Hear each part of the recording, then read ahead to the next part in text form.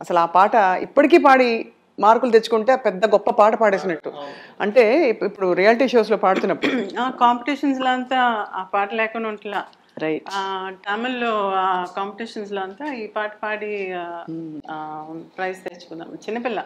ఇది యాక్చువల్లీ ఈ పుస్తకం చిరంజీవి గారి ద్వారా ఆవిష్కృతం అవ్వడం అనేది ఈ బుక్ని రిలీజ్ చేయాలి అని అనుకున్నప్పుడు నేను సంజయ్ దగ్గర చెప్పిన ఒకే మాట. ఇది డెఫినెట్గా చిరంజీవి చిరంజీవి గారి ద్వారానే చేయాలి అని చెప్పాను అనమాట అంటే ఆయన అమ్మో ఆయన్ని అప్రోచ్ చేయటం అది ఇది అంటే లేదా నాకు వదిలే నాకు సురేఖ అక్క బాగా క్లోజ్ నాకు. నేను ఫోన్ చేసి కనుక్కుని ఆయనకి ఎప్పుడు కుదురుతుందో ఆయనకి ఎప్పుడు ఫ్రీగా ఉంటుందో అలా చేసుకుందాం అని చెప్పి అన్నాను అనమాట అంటే "ఆ, ఇంకేముందండి? ఇంకా అలా జరిగితే ఇంకేముంది అని ఓ ఇదైపోయారు అనమాట ఆయన. ఆయన రిలీజ్ చేయటం ఏంటి అని చెప్పి.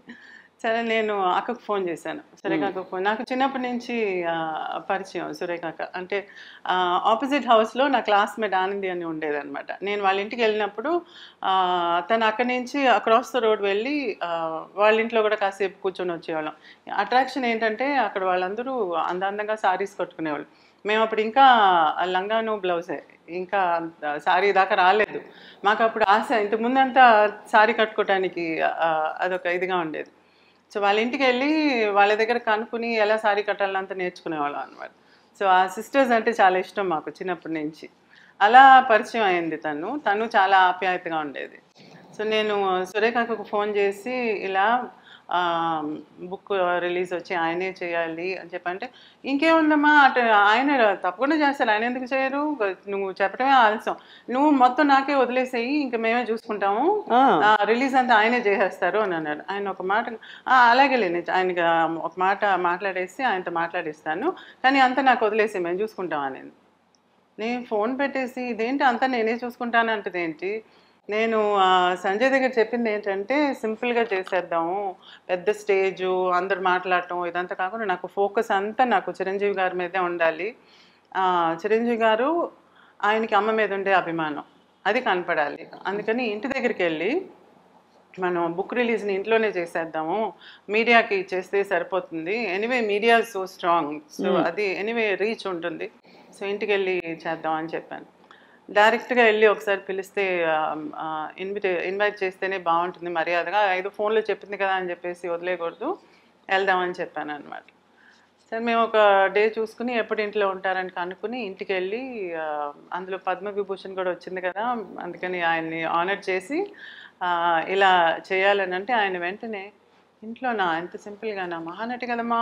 అని చెప్పి ఆలోచించి ఎవరెవరిని పిలవాలని లిస్ట్ వేస్తున్నారు ఆయన. నేనుండి "ఆ, లేదు ఇంట్లోనే పెట్టుకుందాము. ఆ అమ్మకి నేచర్ అంటే ఇష్టం. మీ ఇల్లు చాలా అందంగా ఉంది. అమ్మ ఇంటికి వచ్చినట్టుగా అనుకోండి. ఇక్కడ చేసేయండి అని అంటే రేపు చేసేద్దామా? అని అన్నారు. అంటే "ఆ" అని అన్నాను. అదేంటి? అని అన్నారు. తర్వాత ఆయన జోక్ వేశారనమాట చేసి తర్వాత నాకు వదిలేయమ్మా నేను చూసుకుంటాను అని అన్నారు. ఓకే అని చెప్పి ఇంక నేనేం చెప్పేది?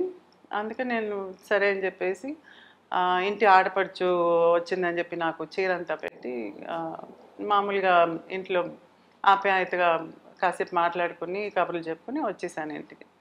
దాని తర్వాత ఆయన అందరినీ పర్సనల్గా ఆయనే ఫోన్ చేసి ఒక్కొక్కరికి ఇన్వైట్ చేసి మీరు ఫ్రీయా మీరు ఫ్రీయా అని చెప్పి ఒక్కొక్కరిని కనుక్కుని మీరందరూ రండి ఇలా ఈరోజు రోజు పెట్టుకున్న ఆయన షూటింగ్ డేట్స్ని కూడా వెనక్కి పెట్టి పొద్దున్న షూటింగ్ ఉంది సాయంత్రం వచ్చేస్తాను.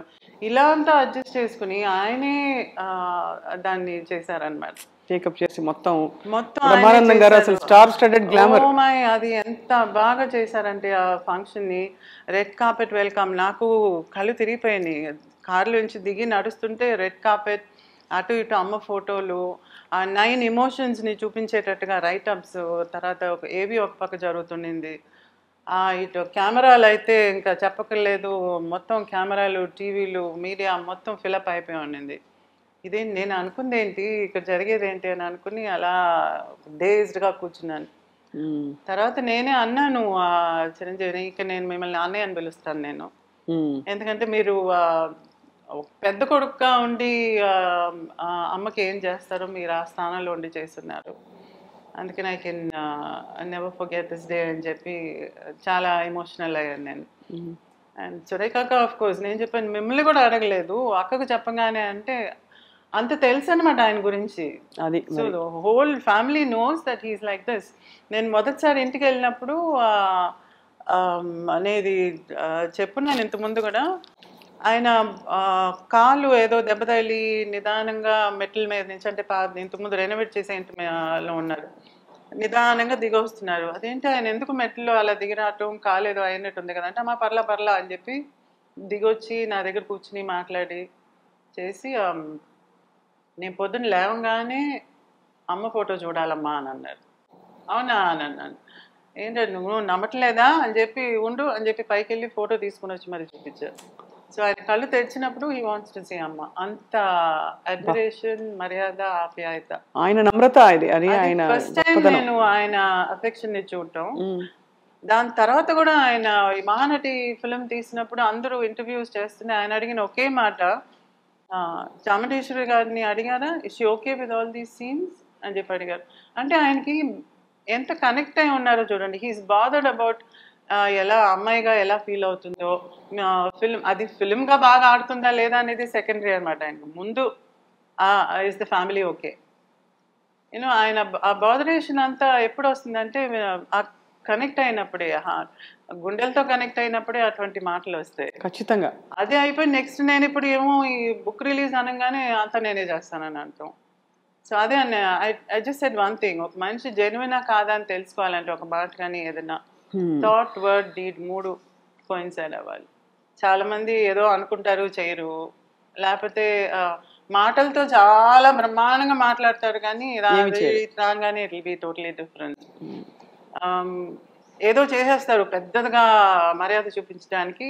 అది అంతటితో ఆగిపోతుంది. దాని తర్వాత once it is published it's done correct but ఇక్కడ అలా కాదు. It's all three have come together చాలా అది దట్ ఈస్ ద రీజన్ అనమాట so he is the best person to have release this yeah చాలా నాకు ఇంతవరకే నాకు అనిపించింది కానీ నిన్న రిలీజ్ అయినప్పుడు ఒక్కొక్కరు మాట్లాడుతుంటే నాకు అనిపించింది. ఆయన ఒక మాట అన్నారు కదా అమ్మ చిరంజీవిగా అందరి మనసులో ఉండిపోవాలంటే చిరంజీవి గారే రిలీజ్ చేయాలంట I just love that sentence and ఇంకొకటి ఆ, బ్రహ్మానందం గారు చెప్పింది ఏంటంటే ఈరోజు యంగ్స్టర్స్ మైండ్లో కూడా అమ్మ నిలిచిపోవటానికి మహానటి ఒకటే కాదు. ఇటువంటి మనిషి he's super star mega star కదా ఆయన.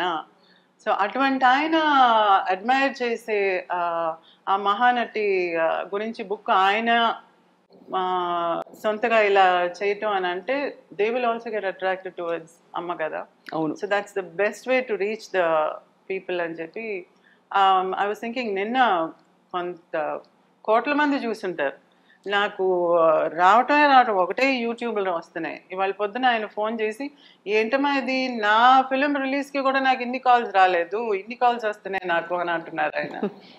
సో థ్యాంక్స్ టు సురేఖ అక్క. ఇమీడియట్గా దాన్ని ఓకే చేసిన దానికి. అండ్ ఆఫ్ కోర్స్ చిరంజీవి గారిని అంత చక్కగా అర్థం చేసుకొని ఉన్నారనమాట